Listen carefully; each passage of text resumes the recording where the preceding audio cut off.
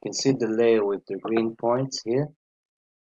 I want to draw a buffer around them, meaning I want to draw a polygon with a specified distance from the points.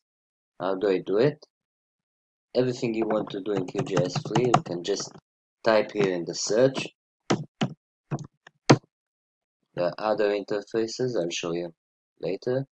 And just, it's a simple buffer. Double click and I get this interface. And I want to plot for every point in this layer, which is active, so it's default here. I can plot it only to selected points, but none are selected. It's not good for me now. I wanted 2 degrees buffer. It's degrees because that's the CRS of the layer.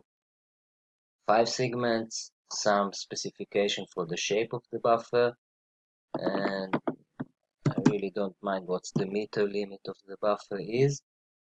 Dissolve results means if the buffers cover each other, make one polygon of them. One nice thing is you can just run it now and there's somewhere a temporary layer that is created and you can use it. But if you want to keep the layer, you want to save it to file and give it a name. Let's say South Cities Buffer. It's a shapefile and it's created. Just one thing. This means once it's created, it appears here in the list.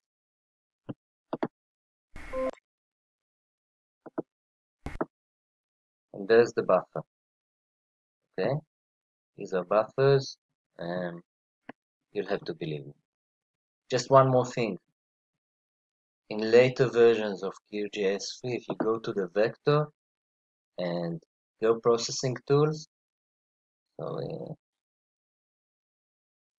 yeah, I think it's geo processing. you have other options here. One of them is a buffer. Currently there's only variable distance buffer, which is not as useful. That's it, we're done.